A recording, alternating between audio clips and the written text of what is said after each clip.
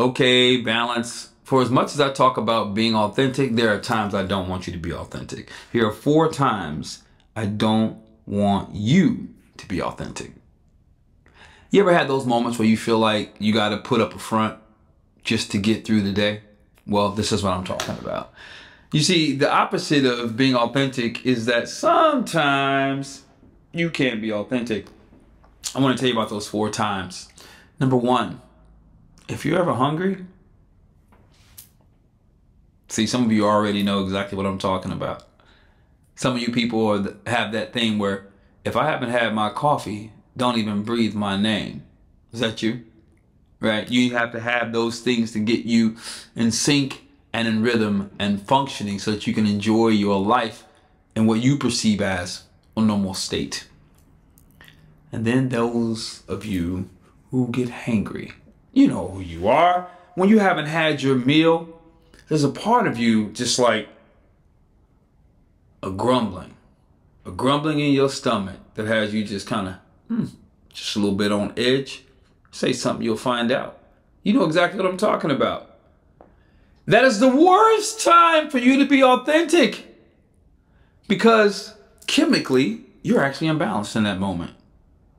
Your whole system, tell me in the comments, just add a comment now because I already know you guys are cracking up on your end of the world. Ask your family member, your significant other, what you're like when you haven't eaten. All of a sudden, short temper. All of a sudden, a little bit of attitude like somebody did something to you because you mismanaged your day. You didn't plan accordingly. All of a sudden, it's somebody else's fault. You know exactly who you are and you know exactly what I'm talking about. But I'm also being straight up with you. That is not the time to be authentic because you might go off on somebody because of a temporary state that you find yourself in of pure hunger. So instead, if you're that kind of person, there are things that you can do to prevent that because you never know when you're showing up in front of somebody, you need to be able to be authentically you to get what it is you're looking for versus the hangry sense, which is not authentic. It's actually not authentic. It's just a temporary state version of yourself. Number one, eat high nutrient dense foods. You don't know what that is? Google it or join the free VIP group where we talk about this kind of stuff so you can get the tools you need to win in life couple high nutrient dense categories. Fresh fruit. Nutrient dense, meaning when you eat it, you're not going to be hungry. It does not gonna, it's not going to cure your hunger. I'm saying when you eat it, you're getting nutrients in because you're feeding your cells, not your tummy. One apple's not going to get you what you need in nutrients. I'm not pretending. Three apples won't either. So look up nutrient dense foods, a combination or an array of them, and just keep some of them on hand. Keep a small cooler in your car, at work, a basket of fruit, whatever that looks like. Maybe a small packet of unsalted nuts.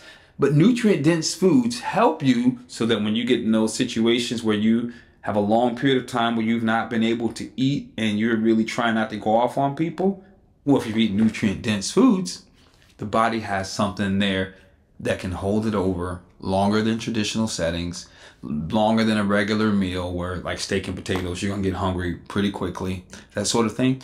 Having that kind of food is gonna help you win so you don't lose out just because you were being authentic while you were hungry number two don't ever ever ever ever this ever trust me when i tell you be authentic when you are angry that is the worst time on the planet.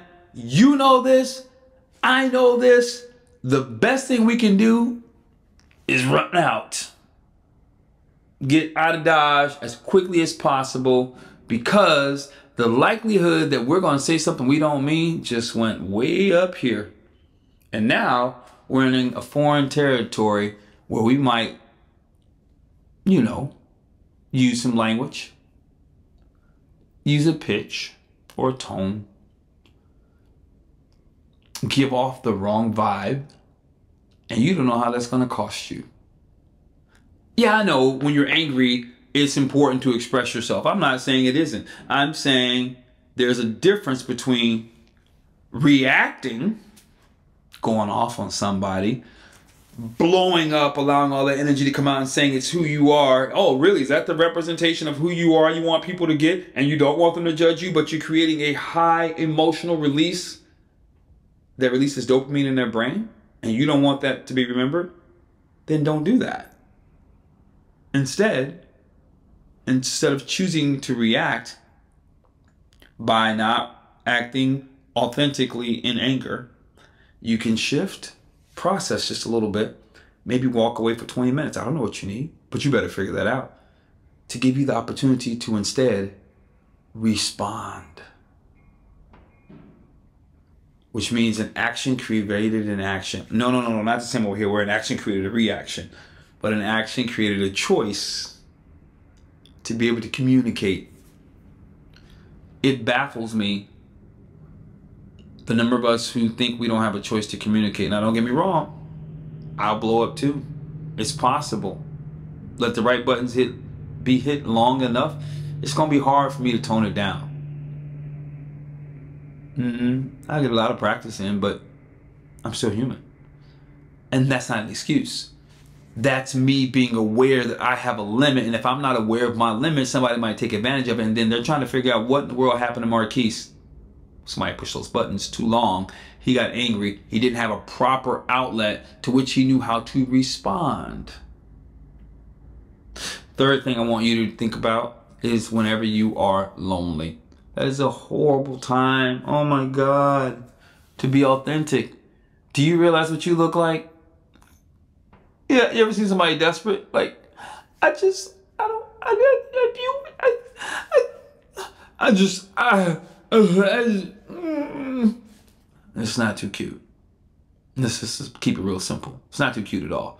But this is what happens when we go to interact, go to be in society when we're lonely. We start calling the wrong phone numbers. We start making the wrong choices. We start substituting. Here's a good one. We start eating what is it? Oh, comfort food. Because we're feeling lonely. For some of you, it's time you start addressing the loneliness and figure out why am I feeling lonely? Because I can be by myself, but that doesn't mean I have to feel lonely. Those two don't necessarily go together, and that's something we all need to be aware of. What skills are you employing to prevent the feeling of loneliness? Hmm.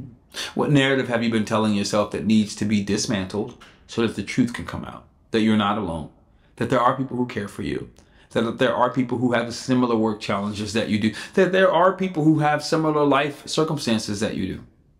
Mm. It's the only time I recommend you compare is when you need to make sure you get yourself back up. Getting off the floor, compare. That's gonna help you get back up, gonna help you stop being filled with sorrow and give you the power to actually be present and be amazing. Last but not least, when you're tired. That is another and the ultimate time to not be authentic. Because when you're tired, mm, when I'm tired and people want more from me, my temper, let's say my temper is this big, right? You understand. But when I'm tired, my temper's like right there. I'm not going to have much more foolishness now, y'all. You need to get it together. Are you seriously? Are you, you really want me to go there? That's the best, you really, you, that's the best you got. Or vocals go skyrocket because you're just freaking exhausted. You know what that's like? If you've ever seen an infant crying that's already been fed and they're losing their mind, all that means is that they need to be burped so they can go to sleep. And once they put on their back, they pass out. Go to bed. Go to bed. Stop spitting all over people and go to bed. Do a better job of taking care of your health so that you get to be truly authentic and be present with who you are because that's the only time you're actually authentic. Any of the states I just mentioned, being hungry, angry, lonely, or tired, are not normal states. And you, in those states, don't need to be revealing that fake sense of who you are. You need to protect others from that. Anyway, join the group below my free VIP group where we talk about this stuff and mo so that I can add value to you and we can exchange. In the meantime, what do you think? What are some of the things that you do to prevent from showing your hand or times that you don't need to be authentic? I look forward to reading your comments and replying. Otherwise, subscribe, share this with somebody you love. Peace.